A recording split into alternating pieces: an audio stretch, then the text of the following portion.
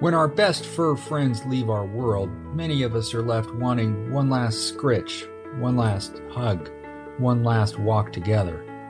One Last Network is a space for pet guardians to honor their pets in their senior years and to cope with the days leading up to and after their passing. Here's your host, Angela Schneider, founder of One Last Network and Big White Dog Photography in Spokane, Washington.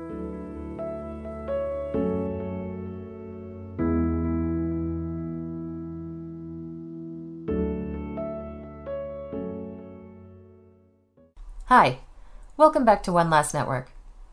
I remember it so vividly. I was 18 years old, and our family's rough collie princess had just been hit by the milk truck. One of my parents, my mom was as tough as nails back then, so I don't remember who it was, picked her up and carried her into the house. She died in our basement shortly after. I cried. I cried deep, heaving sobs for our girl the girl who had poked her head into my bedroom at another time while I was crying, over a breakup some several months prior. I had gotten back together with that boy, and that boy said those three most awful words to me that night. Just a dog. Why are you crying? he said. It was just a dog. I've never forgotten how hollow I felt that day, even though I stayed another year or so with that boy. It was the same feeling I had eight years ago when we brought Bella home nine days after I had to let Shep go. A quote, friend, unquote, and former coworker commented on Facebook, Wow, that was quick. These are people who don't understand the depth of love we have for our pets, the profundity of our connection to our best fur friends, and the pain we experience when we lose them. Today, in episode 16, I have some real talk with Beth Bigler of honoring our animals about the stupid shit people say, how to manage those people, and where to look for support. Beth is a double certified pet loss grief counselor, a certified pet chaplain, and a certified end of life animal companion doula. She works with individuals and families before, during, and after the loss of their beloved animal companions. She's known for her Instagram account at Honoring Our Animals where she shares daily content and tips about pet loss grief with a unique blend of humor, compassion, and telling it like it is. She works closely with animal care workers, veterinary professionals, and other pet industry brands on grief training and awareness. She is a seasoned film and television professional, college instructor, and mom of a three year old son and three crazy cats. She said divine felines but you know I'm a dog person, and we will never see eye to eye on that. Have a listen. I think you can pick up some great tips to help you on your grief journey.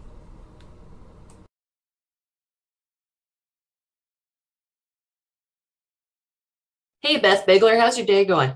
Hey, I'm great. How are you doing? I'm all right. I want to get started by having you tell us a little about you. All right. My name is Beth Bigler. I am a pet loss grief counselor and I work with pet guardians before, during, and after the loss of their beloved animal companions to help them adjust to the profound and deep loss that they're experiencing and hopefully help them re engage with their lives in, in a way that makes them feel happy and satisfied, even if their animals are no longer with them we found each other on Instagram. You are at honoring our animals. And one of the things that drew me to you is that you are so frank, no bullshit, right to the point kind of person. Does that set you apart in the in this field instead of, you know, the gentle touch? Are you calling me not gentle? I am calling you. Well, um, look, uh, my Instagram is a riot. I encourage you all to come over and visit. Uh, we have a lot of fun over there. We we do laugh, you know. Sometimes we laugh about our losses, and I do a lot of real talk about the depth of this grief, the validity of our grief, and I really like to show up and talk about things that I perceive that other people aren't talking about. There's a lot of things about pet loss and you know our general narrative culture in our country about grief and loss and and there's a lot of associations that don't resonate with everybody you know not everybody imagines their animal with like angel wings on a on a rainbow bridge and i'm totally down with that for anybody who wants to to you know talk about that but there's a lot of people where that doesn't resonate and i think that's uh, how a lot of people resonate with me so i'm really trying to talk about nuts and bolts kind of stuff i'm talking about what do we do how do we get through it and how do we survive it because to me that's the most important part about pet loss is the ability to survive it and I feel like some other people that talk about it aren't really talking about how it is life and death not just for our animals but for ourselves and i have to talk about that openly and frankly. I can't can't ignore that crucial piece of it. So i'm pretty direct i'm pretty bold.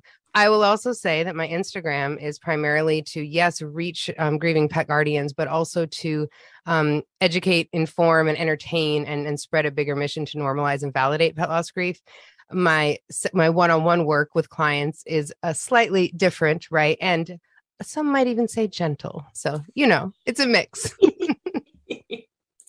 Okay but whoa one second. How do we have fun with the topic of grief? We are trained to have that be a very dissonant connection in our brains aren't we? Who taught you that Exactly. Right. Who teaches us anything about grief?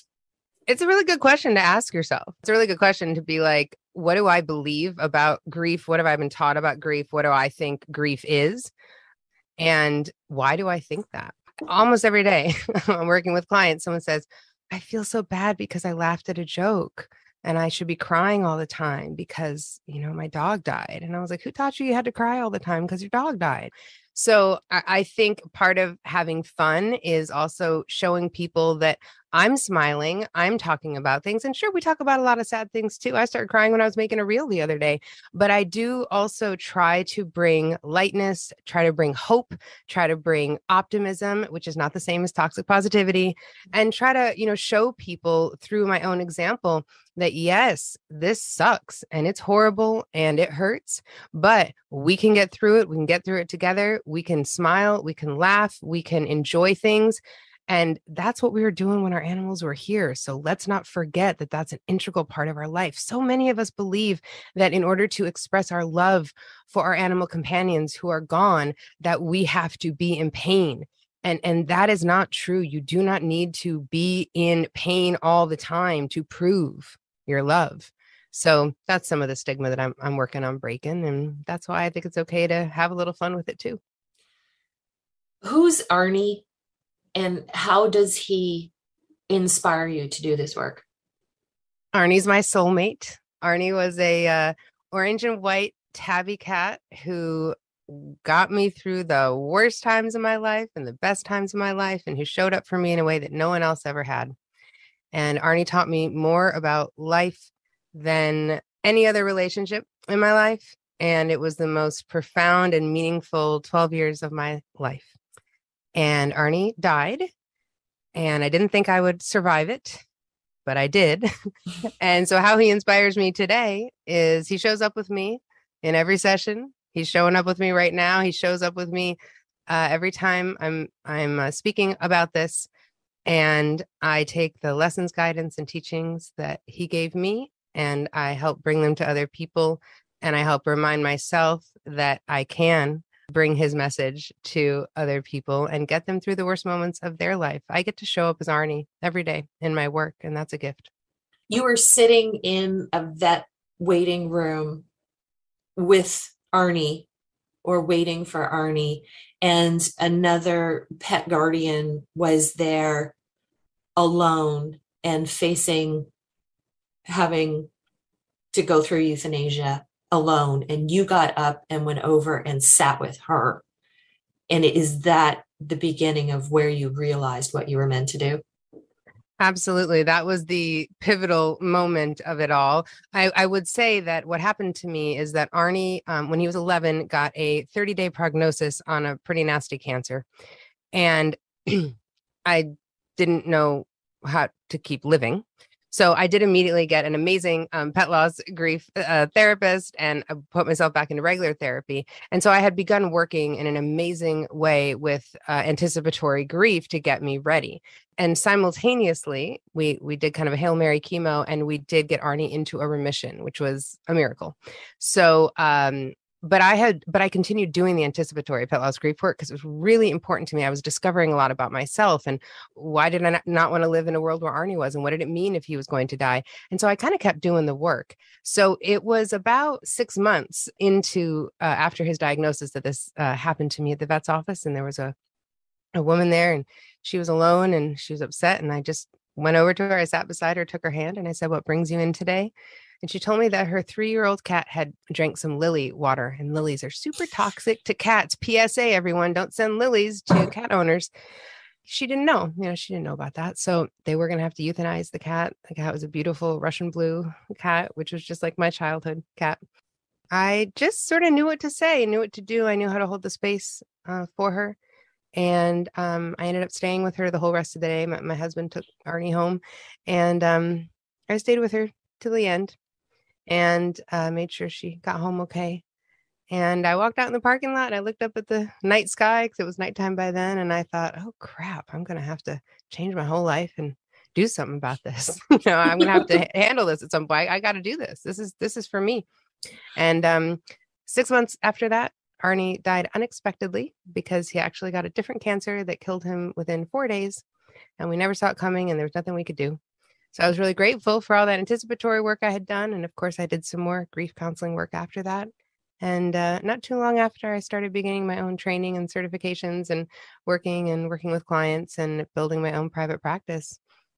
And that's what got me here. I had been a, an entertainment executive before. I was a TV producer and writer and uh, kind of a Hollywood type. And uh, this changed my life. Arnie changed my life. And now I serve other people in their moments of need. And it's awesome not to disregard what you did in your previous life, but this has to be a little bit more soul fulfilling. Uh, there is a tremendous soul fulfilling purpose to putting art into the world and putting stories and storytelling into the world. So I definitely am a big believer in art and entertainment. But this is profound. And this is honoring people who are suffering many of them the worst loss they have ever faced or will ever face and being able to walk right alongside someone when they're going through that and to be able to see for them the opportunities that may come for them the growth that may come for them to be able to see for them that they will be okay to be able to see that ahead even when they can't see it themselves is deeply moving and deeply fulfilling. With that first woman back at the vet clinic did it feel natural to you to just give her space and were the words that came out of your mouth natural or did you know instinctively what to say or what not to say? I repeated some things i had learned already in my own experience but mostly i just listened. Because the number one thing we can do for anybody that's going through this is just listen and let them say what they want to say and and not try to give advice or judgment but really just cheesy phrase hold the space. And so it was less about knowing what to say and more understanding to be quiet and let her know someone was there and someone heard her and she could voice whatever she wanted to voice. I think it was more about listening than saying. Because let's face it, when we're in grief, the people in our lives do say some stupid shit. How do we deal yes. with that? First, let's talk about some of the stupid shit that people say. Well, I'd like to say something up front. I'd like to say, because I'm going to talk about the stupid shit, but I would like to say, you know, grief is a big revealer of limitation hmm. in the people around us. And just because somebody says something totally out of line or out of bounds or stupid, it doesn't mean that they're necessarily a terrible person or someone that you need to cut out of your life immediately we are so grief illiterate in the world and we are extra grief illiterate about animals and people and human animal bond. Even if you've lost an animal before, you might just say the wrong thing. so I do just like to say before I dive into like why do people say this stupid shit, I would like to say if somebody has said something hurtful to you or dismissive or invalidating, I'm really sorry. I am sorry that that happened to you and you are in control. You decide what you want to do about that. But I like to remind everybody that sometimes good people say stupid things and they don't know better. And I'm working real hard. You're working hard, Angela. We're working hard to help people do better about this. Sometimes when we're grieving, we can really just be like, well, that person said one foot in the mouth moment and I want to get rid of them forever. And you might get real lonely because a lot of people are going to say foot in the mouth kind of things with animal loss. So I do just like to make that disclaimer. But yeah, let's talk about it. Have you heard anything uh, stupid? I mean, I got I got a list for days. Uh, well, yeah. I mean, uh, Shep died on me in 2014, and certainly, I don't want to use the word rushed, but I did bring Bella into my life nine days later, and I caught hell for that from some people. Ooh, that was quick. Ooh. Okay, I don't know what space is allowing you to judge that, but whatever. And that that's before I started learning anything about grief. I just instinctively knew why would you be trying to make me feel bad about wanting to love another dog? And of course, there's the whole replacing Shep, that kind of stuff. And more recently, I've had people say stupid shit to me about having lost my mom, which happened in January. And mm. and it, it's just I'm in a space now where I can reflect on that and go, okay, that's not about me. Yeah. It's not. You're right. That's right. It's not because uh, death grief makes us also uncomfortable. Most of us didn't have great models for grieving and mourning when we were growing up. Again, this is something we can all kind of work to change, but you know, a lot of a lot of people never had a conversation in their family about death, dying, or grief or mourning, what to do. Mm-hmm. Yeah, a lot of people just you get, they get real uncomfortable and then they get awkward.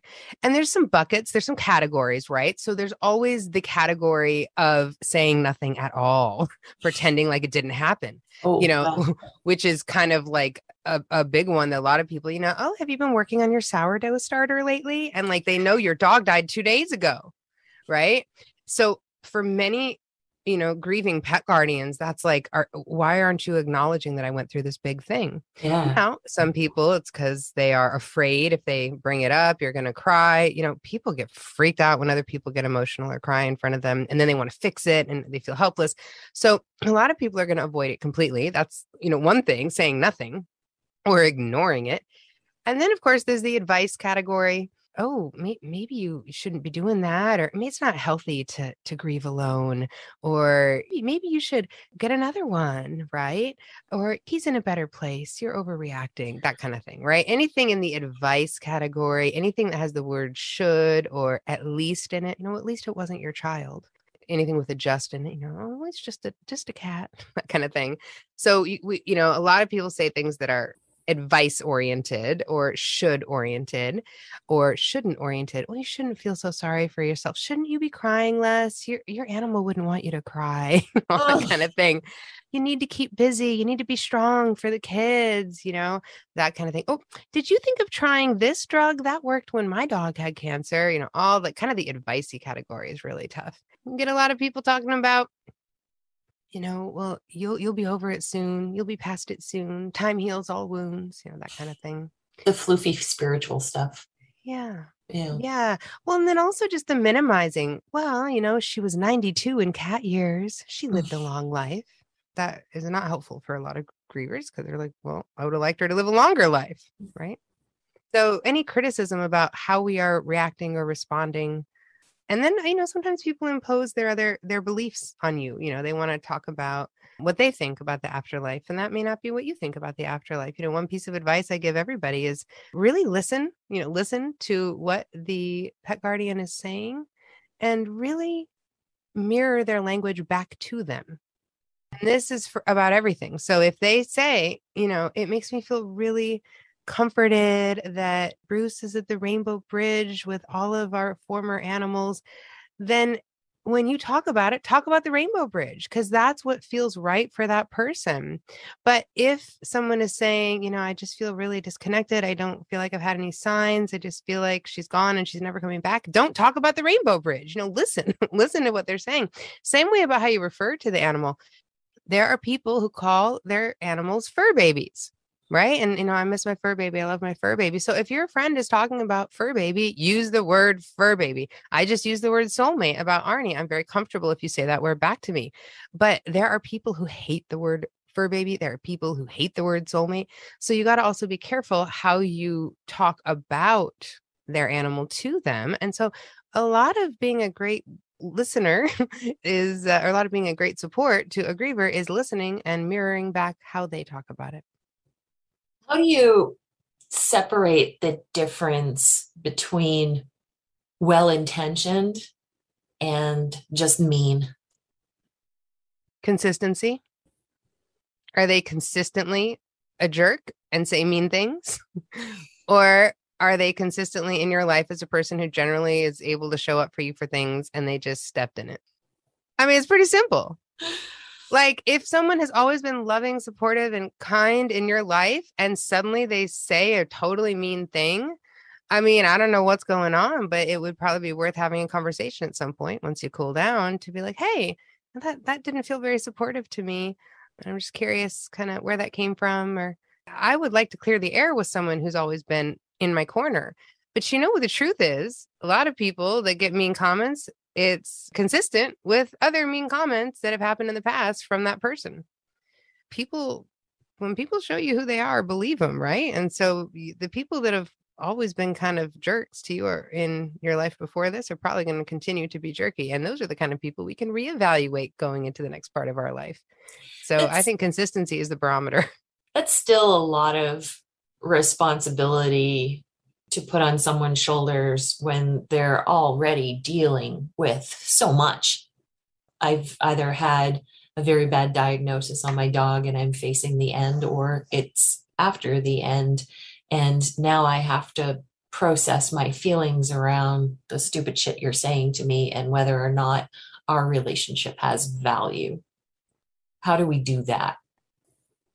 Well, I don't think we can do it in the moment of our grief. I think it's one of those things that if it's somebody you really love and care about and they say something that, eh, that really hurts you, I'm not sure you can deal with it that day or that week.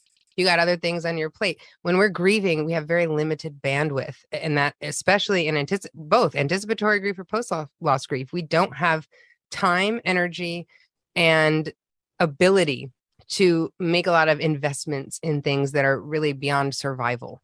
So I don't think it's something that you can address in the moment or immediately. If you need to create space, take some space from somebody who's made a comment, by all means, do that.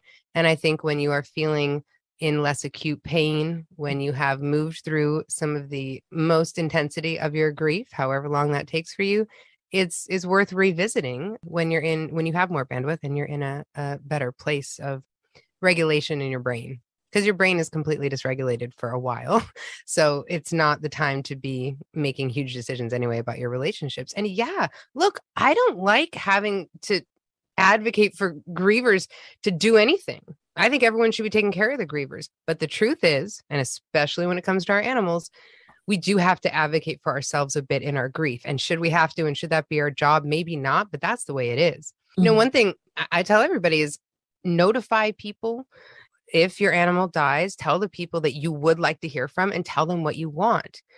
Tell them, send a group text. Hey, my dog just died. I am really feeling low. I would appreciate X, Y, and Z. And if you don't know what that is, try to come up with something. Give people things to do because people don't know what to do. So maybe that's, hey, I would just love if you could check in on me each day and just ask me how I'm doing today. Or check in on me and send a picture of my animal just let me know you're thinking of me. Should that have to be your job? No, but nobody's going to know what to do if you don't ask for things either. So that's kind of the conundrum of the whole thing. But I, I think asking for what we want and need or what we think might feel supportive can also give people a job and leaves them less flummoxed about what to do or say. And and people do deal with those things very individually I certainly had no hesitation to put the news out on Facebook when Shep was gone. I read that thread every August 20th now mm. because the messages that people left me continue to bring me comfort. But mm. there are others that aren't the sharing type. How do they reach out? How do you, you know, the more solitary type? Absolutely. Uh, putting a social media post about any of this is not for everyone. And there are a lot of reasons why. And and look, uh, there are a lot of circumstances under which animals die that are very difficult that you don't want any questions about that are very private and I'm a big believer in privacy and grief. There's a difference between privacy and secrecy even though a lot of us didn't grow up learning much about that difference.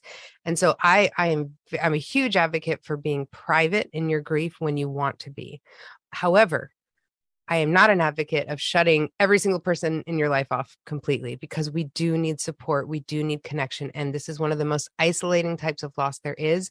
And if we keep isolating ourselves, it's it's gonna make it even harder.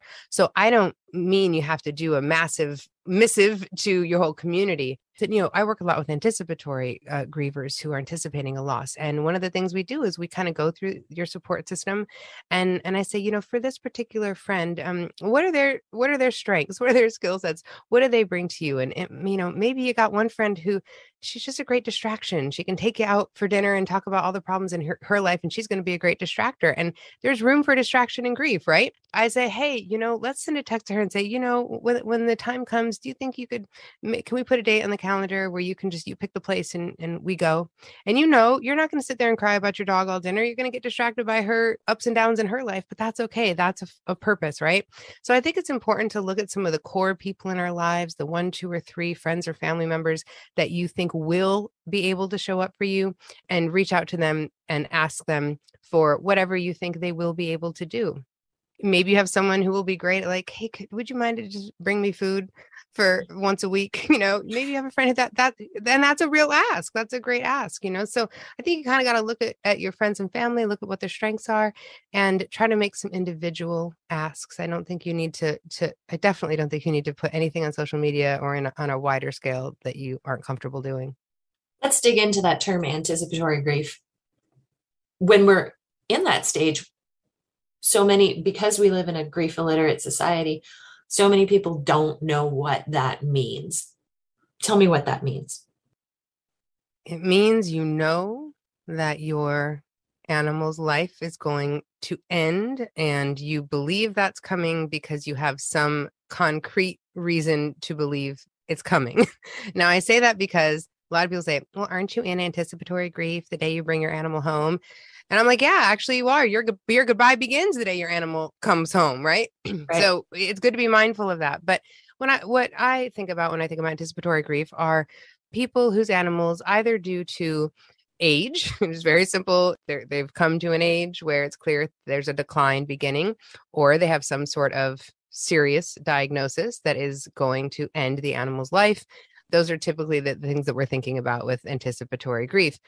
Also, behavioral euthanasia is another place where we have anticipatory grief because that's another time when people are going to have to say goodbye to their animals and they they often know that that's going to be coming so and there are other there are other types of anticipatory grief however anticipatory grief is uh, a very difficult stage to be in because you know it's coming. Sometimes you have a sense of when, sometimes you have no sense of when. Uh, it's a very out of control feeling time because you are not sure how things are going to progress medically. You're not sure how each day is going to be. Oftentimes, if you are uh, doing any sort of supportive care or treatments, you are doing a lot of different types of medications. You may be helping your animal with mobility. You are very busy. you are very tired. You are often financially very drained and you are often very confined and isolated because you are spending a lot more time with your animal and if you're caregiving a lot and you are sad you are scared and you are dreading each day and it brings a whole new level to the stupid shit people can say to you mm-hmm. you still have your dog, your horse, your cat there with you. And oftentimes people may be pretending like they're already gone. Who do you turn to? Hmm. Where do you go? Come to me. I'll help Yeah. you through. Well, you know, again, this is where we have the opportunity to look at our support system and figure out who who is going to be most supportive to me in this who who can help me through this and look sometimes you have to test the waters it's a very difficult thing to be vulnerable when you're experiencing any type of grief it's hard to say i'm having a hard time it's hard to say i'm scared i'm uncertain i feel out of control i feel powerless right those are hard things to bring up but you might be surprised sometimes how some people respond to that better than others and so I always advocate to tell people if you're going through a diagnosis, tell people if you are experiencing this type of stress with your animal, uh, to to speak about it, to share it. And oftentimes, you know, many of my clients tell me about amazing connections. They might share with a coworker that something happened, and all of a sudden they find out that coworker had two different dogs with that same diagnosis. And now that coworker becomes someone they can really connect with. And of course, social media can be a great support in this way as well and there's pros and cons to this but you Mm. know there are many different types of groups for different medical conditions that people join my instagram i make a lot of posting about anticipatory grief and people find each other in the comments and they become friends and they i have a lot of friendships that have formed and support that is formed so reaching out and trying to connect with people that you think might get it is a great place to begin. And I also recommend asking your veterinarian or your other care providers for your animal. People who work with animals all day know other people that might be going through this same type of diagnosis or treatment, and they might be willing to connect you as well. And sometimes, even just having one person who's going through it, who gets it, is the lifeline you need to help you get through. One of the hardest people to get to be kind to us is ourselves. The hardest. What can we say to ourselves to bring us some comfort, whether in anticipatory grief or after the fact grief? Well, this is a great and a difficult question. The first answer before we say anything is we listen. What are we actually saying to ourselves? How are we treating ourselves? How are we talking to ourselves? What messages are we giving ourselves about how we are doing or how we are handling this? And unfortunately, many of us, if we really listened, we start hearing a lot of criticism. We start hearing a lot of shoulding. oh, I should be doing better. I should be doing this. I should be over this. I should, you know, um, why didn't I? Why didn't I notice he was sneezing sooner? Why didn't I notice that he was kind of favoring his front paw? You know, I mean, all the replay, all the judgment, all the criticism. I should never have another animal. I don't deserve it. Right. So you got to start listening to what you're telling yourself because a lot of us don't even stop and, and kind of note that.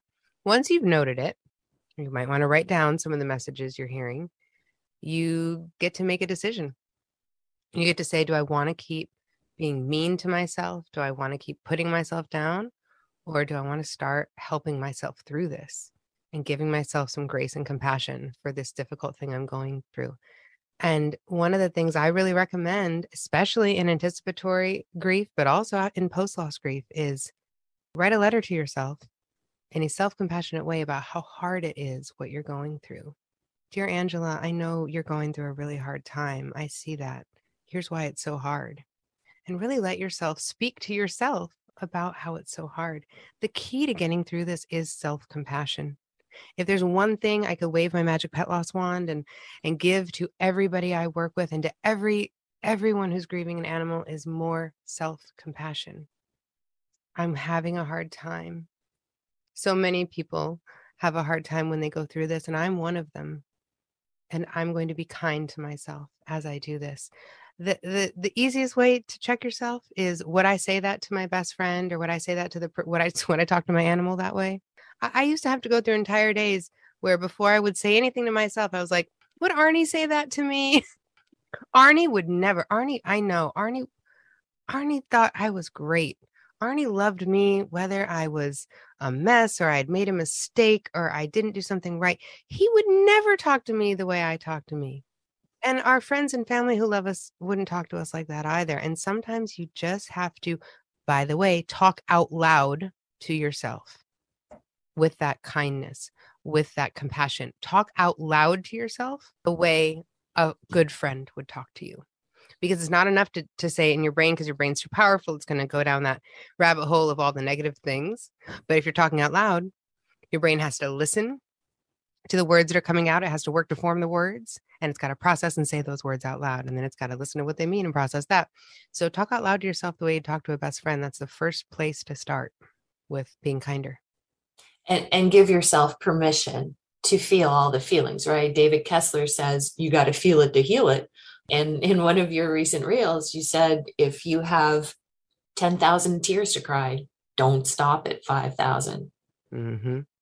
That's so true feel all your feelings. There are no bad feelings. We get very judgmental about our feelings. Oh, well, I shouldn't be angry or I shouldn't be, you know. All our feelings are there. They're showing up for us. They're trying to help us. They're trying to protect us in many ways. They're trying to give us a sense of control. So I'm a big fan of let all the feelings come. Notice that they're there. Oh, hey, anger, you're here today. Welcome. you know, hey hey hey shock hey disorientation right i mean really you know they are trying to serve you and help you it's just in grief the way that that it impacts us and impacts our brain we we sometimes get looped we start getting into loops we start getting into really negative cycles and, and things and those can be very hard to break and they can actually make us really stuck in our grief. They can they can make us stuck in one place so we can't kind of move through it a little easier. So i say welcome your feelings and acknowledge that they're trying to i say make friends with your feelings. Hey anger i see that you're here today. I'm going to try to go beat some dishes with a baseball bat in my backyard to help you move through me Uh, whenever you want to go, I'm, I'm cool to let you go right now because this isn't really feeling great for me that you're here. But you know, stay as long as you need to make friends with all your feelings. Let them come and and let them express. Really, truly, go beat those dishes with a baseball bat. Let that anger out. Let all your feelings out. You can even make voice memos, you know, because I'm I love writing. You know, I think writing is very powerful, writing by hand. But not everyone likes to write. Right? Make voice memos. Let it out. If you if you keep it all inside, if you don't let it move through you, it festers and it's hard. I, I felt that going to the top of a mountain and just screaming my head off worked really well. Yep. I love screaming. I love screaming into a pillow. I love screaming underwater. Underwater is great. Scream everywhere you need to scream.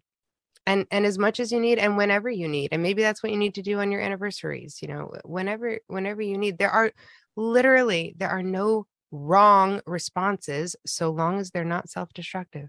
So as long as you are not self-destructing on yourself, have any reactions you want, any responses you want. Do whatever you need to do that feels supportive to you. Because that's the only thing that matters. It doesn't matter what other people are thinking about what you're doing or not doing. It doesn't it doesn't matter. You've got to do what feels supportive to you. How do people find you for help? They can always find me on my website, which is honoringouranimals.com. My phone number is right there. You can call or text anytime. And as soon as I'm out of sessions, I will get back to you. Uh, also, you can find me on Instagram. I love hanging out on Instagram. That's at honoring our animals. And uh, you can shoot me a DM. One thing I do every month is I do a live memorial service for our animal companions mm. who have passed away. So we do this amazing memorial service. I change it up a little bit every month part of the service is reading the name of the guardian and the name of the animal. And this is a really beautiful uh, event that many people come to and participate in that makes a real sense of connection and community and celebration of our animals and what they've meant to us. And so I encourage anybody listening to um, look for that on my Instagram. I do it around the middle of the month. Every month, I put out a call for names a couple days in advance.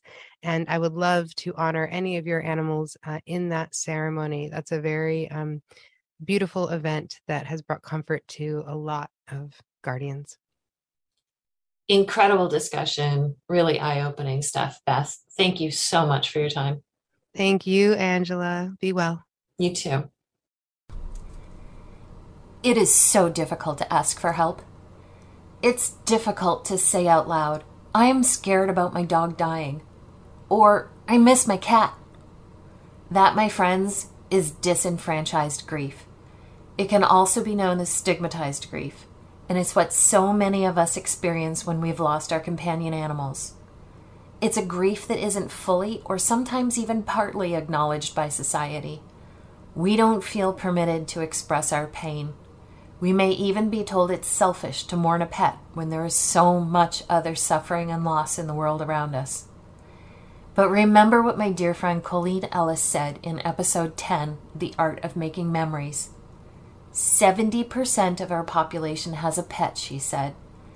83% of the 70% refer to themselves as mommy and daddy. The rules for pet loss, the rules for pet grief, the rules for pet mourning, the rules for pet rituals are written by the 30% who don't get it. Our agony is deeply personal, and we do believe no one will understand the depth of our pain and grief. And sometimes they don't. Those aren't your people. And it's up to you to decide whether those aren't your people for just right now or for forever. The coworker who said that was quick to me, I unfriended him on Facebook and I've never heard another peep from him. He was not my people. Because the grief journey is profound and personal. One of the first people we need to look for for support may be ourselves, just like Beth said. And it's important to be kind to ourselves in that journey. Hearing me say that, I know I have to do a better job of that. We'll call that a goal for 2023. Next week, I chat with Kylie Doyle of Kylie Doyle Photography in Sacramento, California one of the founding members at One Last Network.